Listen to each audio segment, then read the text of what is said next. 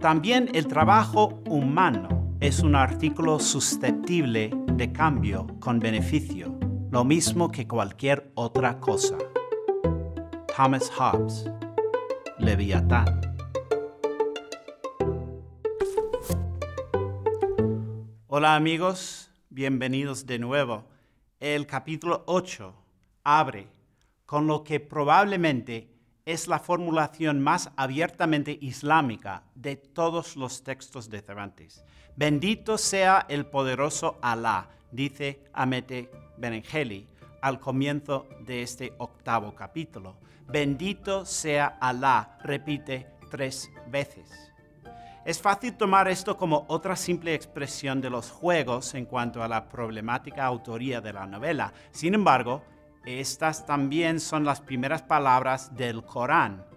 Y como señala Francisco Rico, los moriscos españoles tradicionalmente cantaban la frase tres veces al atardecer. Observemos que mientras la primera salida de Don Quijote comenzó al amanecer, la aventura de la segunda parte comienza al atardecer. ¿Y a dónde se dirigen nuestros héroes? El Toboso, una ciudad que algunos estudiosos consideran fue el hogar de muchos moriscos que se trasladaron allí después de la Guerra de las Alpujarras de 1568 a 1571. A continuación, tenemos un recordatorio comiquísimo de los buenos augurios asociados con los sonidos de Rocinante y del asno de Sancho, Apenas se hubo apartado Sansón cuando comenzó a relinchar Rocinante y a suspirar el rucio, que de entre ambos, caballero y escudero, fue tenido a buena señal y por felicísimo agüero. Los suspiros de la montura de Sancho son un eufemismo de sus flatulencias, consideradas como buenos augurios desde la antigüedad. Sin embargo, Cervantes lleva el significado de las flatulencias todavía más allá. Aunque, si se ha de contar la verdad, más fueron los suspiros y rebuznos del rucio que los relinchos del rocín, de donde coligió Sancho que su ventura había de sobrepujar y ponerse encima de la de su señor. ¿Sabías que el pueblo de El Toboso, hogar de Dulcinea, además de muchos moriscos después de la Guerra de las Alpujarras de 1568 a 1571, se encuentra a 10 kilómetros hacia el noreste, de donde se construyeron unos molinos de viento hacia finales del siglo XVI. Ahora Sancho recuerda los episodios de la primera parte en el corazón de Sierra Morena y su visita a Dulcinea anticipa que no va a dar su bendición a Don Quijote a menos que ella lo haga desde las vallas de su corral, desde donde la vio cuando le entregó la carta de Don Quijote. Don Quijote rechaza la imagen prosaica diciendo que Sancho debe haber confundido las cercas con galerías o corredores o lonjas o como las llaman de ricos y reales palacios.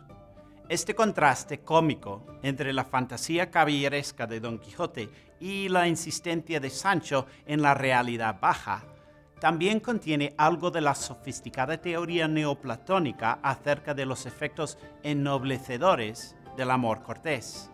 Según Don Quijote, cualquier rayo que del sol de su belleza llegue a mis ojos alumbrará mi entendimiento y fortalecerá mi corazón.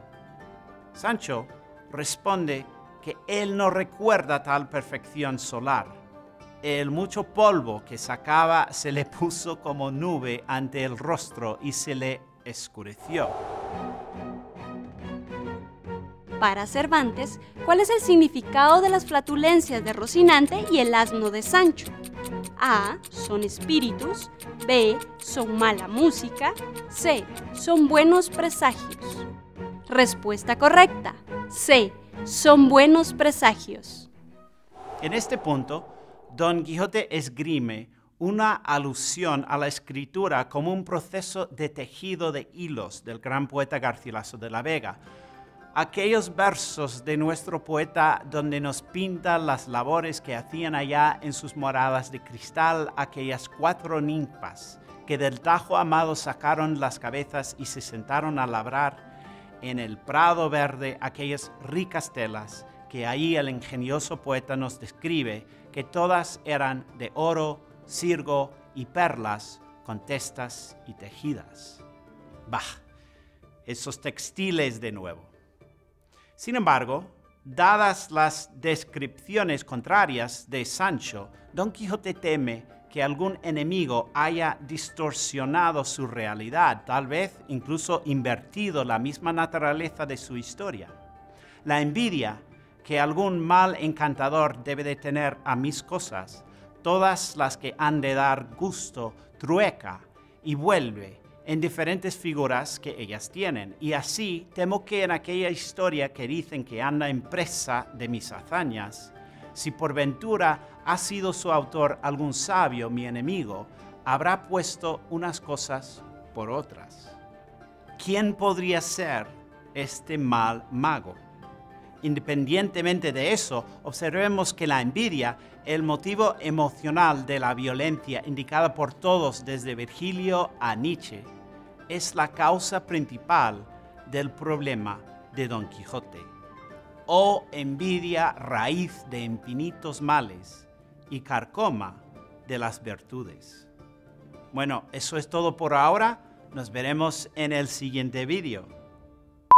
Si te gustó este vídeo y quieres continuar aprendiendo más acerca de Don Quijote, el caballero andante, puedes suscribirte Si te gustó este vídeo y quieres continuar aprendiendo más acerca de Don Quijote, el caballero andante, puedes suscribirte a nuestro canal de YouTube aquí. También puedes inscribirte gratis al curso aquí.